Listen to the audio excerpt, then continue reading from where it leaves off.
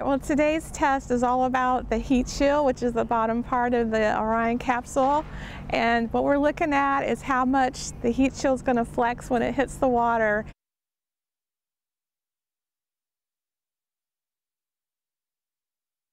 We have this turned 180 degrees uh, around, so it's flipped backwards, and we're simulating a low wind swell case, and it's going to come down like a pancake.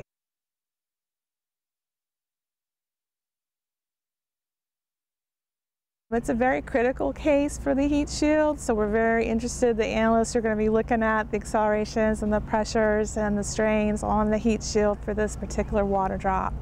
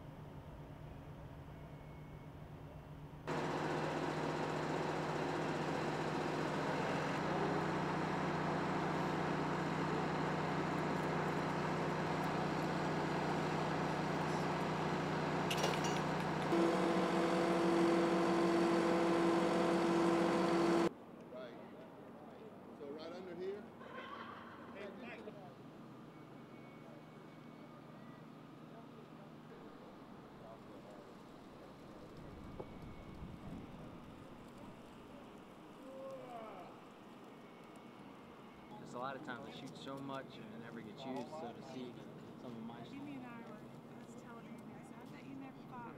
Like, that's a quarter and a half in. So it's been good. I don't want to. Ben!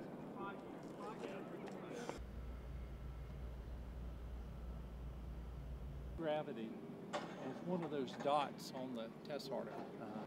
Wow. Yeah. Sheesh.